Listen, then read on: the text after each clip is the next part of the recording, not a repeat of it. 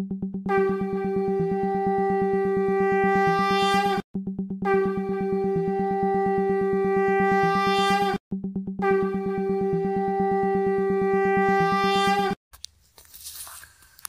पुरुषोत्तम, भारतवर्ष में इतने महापुरुष के रहते, यह देश इतना दरिद्र क्यों है? श्री ठाकुर जी से एक अमेरिकन गुरु माता जो श्रद्धेय स्पेसर दा की पत्नी थी।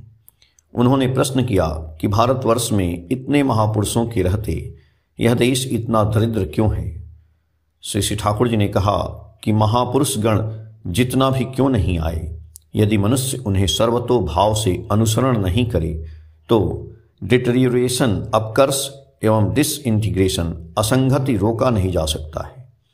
धर्म का अर्थ है स्वपरिवेश अंदर एवं बाहर एक योग में बढ़ना। आत्मिक एवं नैतिक उन्नति के स्थान पर यदि आर्थिक उन्नति के ऊपर मनुष्य की दृष्टि अधिक हो जाए तो वहाँ बचना बढ़ना व्याहत होगा ही। महापुरुष पूरब देश या पश्चिम देश के लिए नहीं आते हैं। वे संपूर्ण पृथ्वी एवं मानव जाति के लिए आते हैं। वे वन साइडेड मेटरलिज्म और स्पिरिचुअलिज्म एक देशदर्शी वैसायिकता या आध्यात्मिकता के ऊपर ज़ोर नहीं देते हैं। उनका लक्ष्य रहता है कि मनुष्यों का सर्वतोमुखी उन्नति वैशिष्ट अनुसार आदर्श निष्ठ होकर सपरिवेश करे। यीशु की बातें मनुष्य जितना जाने उतना अच्छा है। किंतु यीशु के नाम पर किसी अन्य महापुरुष को छोटा बनाया जाए एवं यीशु को भजाया जाए, यह अच्छी बात नहीं है। इससे यीशु को धरने में भी बाधा होगी।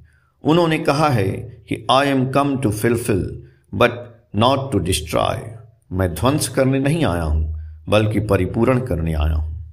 मैं कहता हूँ कि जो कृष्ण को नहीं मानता है, वह क्राइस्ट को भी नहीं मानता है। एवं जो क्राइस्ट को नहीं मानता है, वह कृष्ण को भी नहीं मानता है। अवतारी महापुरुषों में भेद करना अच्छा नहीं है। स्प्रीट आत्मा यदि एनर्जी शक्ति में रूपांतर होता है, एवं शक्ति यदि मैटर वस्तु में परिणत होता है, तब तो आत्मिक उन्नति को त्याग कर वस्तु की उन्नति कैसे होगी? मैं कहता हूँ कि आत्मिक एवं नैतिक उन्नति के ऊपर खड़ा होकर वस्तु तांत्रिक उन्नति होने से अस्थायी उन्नति होती है। परिवेश को शोषण कर, सुनीति को विसर्जन कर वस्तु की उन्नति नहीं टिकती है।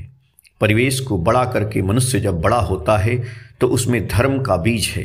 यदि कोई आदर्श केंद्रिक नहीं हुआ एवं आत्म केंद्रिक हुआ तो प्रवृत्ति उसे छिन्न भिन्न कर देगी।